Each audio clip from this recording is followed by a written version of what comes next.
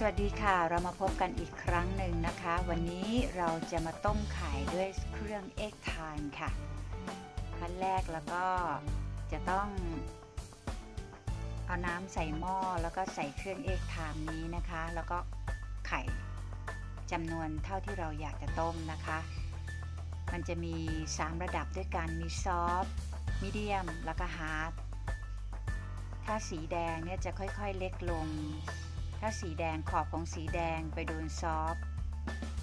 ก็จะเป็นไข่ลวกนะคะ ถ้าเป็น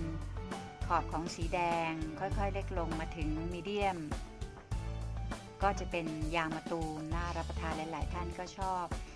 ไข่ที่ลักษณะเป็นยางมะตูมนะคะ เพราะว่าไม่แข็งมากไม่นิ่มมากแต่ถ้าเป็นสีแดง แล้วกลายเป็นสีเหลืองทั้งหมดใบเลยนะคะ ก็แสดงว่าไข่สุกแล้วค่ะ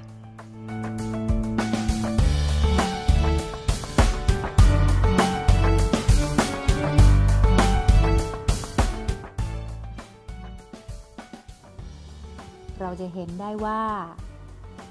สีเหลือง ค่อยๆขึ้นมาแล้วก็สีแดงก็จะเล็กลงไปเรื่อยๆ อันนี้เราอยากจะให้สุกเลยนะคะ เอาเอาประมาณไม่สุกมาก เราก็นี่นะคะเห็นไหมคะ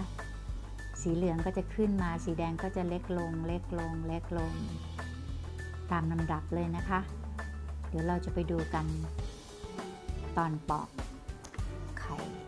ว่าจะอยู่ในลักษณะแค่ไหนกัน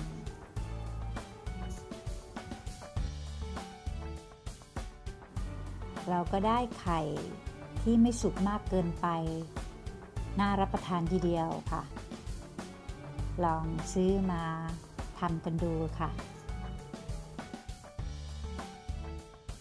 แล้วในทางกลับกัน ถ้าเกิดเราต้องการจะให้เป็นเหมือนอย่างเดิม เราก็ไปแช่ในน้ำแข็งเพื่อให้ความร้อนคลายตัว สีแดงก็จะเริ่มเข้ามานะคะ จนในที่สุดก็จะเต็ม จะเห็นได้ว่าสีแดงก็เริ่มเริ่มจะเป็นสีแดงแทนสีเหลือง เดี๋ยวเรามาดูกันค่ะ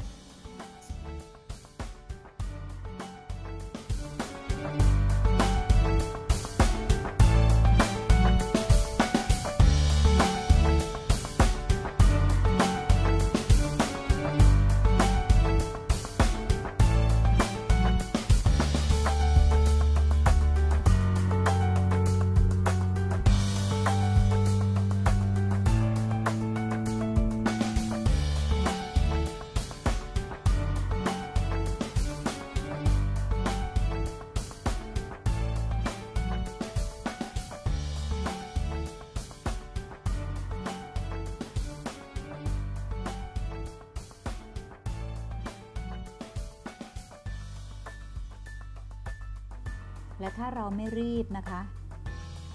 เราก็จะปล่อยให้เย็นไปตามธรรมชาติ มันก็จะกลายค่อยๆกลายเป็นสีแดง เต็มใบ เต็มเครื่องเอ็กทามนี้นะคะ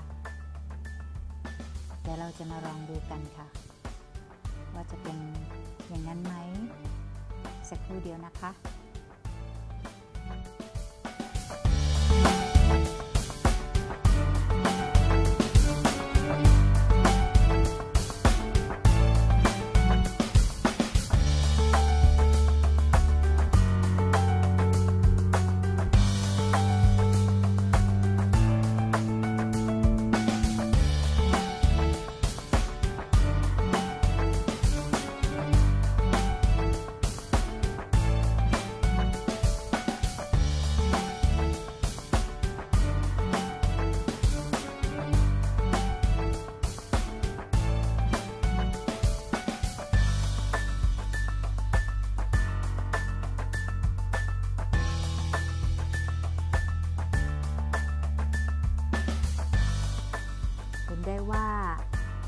สีแดงเริ่มจะเต็มใบ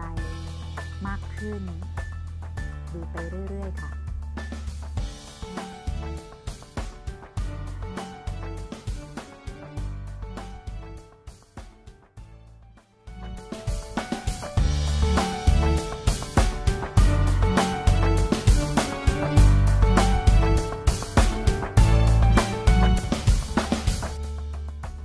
จะเห็นได้ว่าสีแดงก็กลับมาเป็นเหมือนเดิมแล้วนะคะ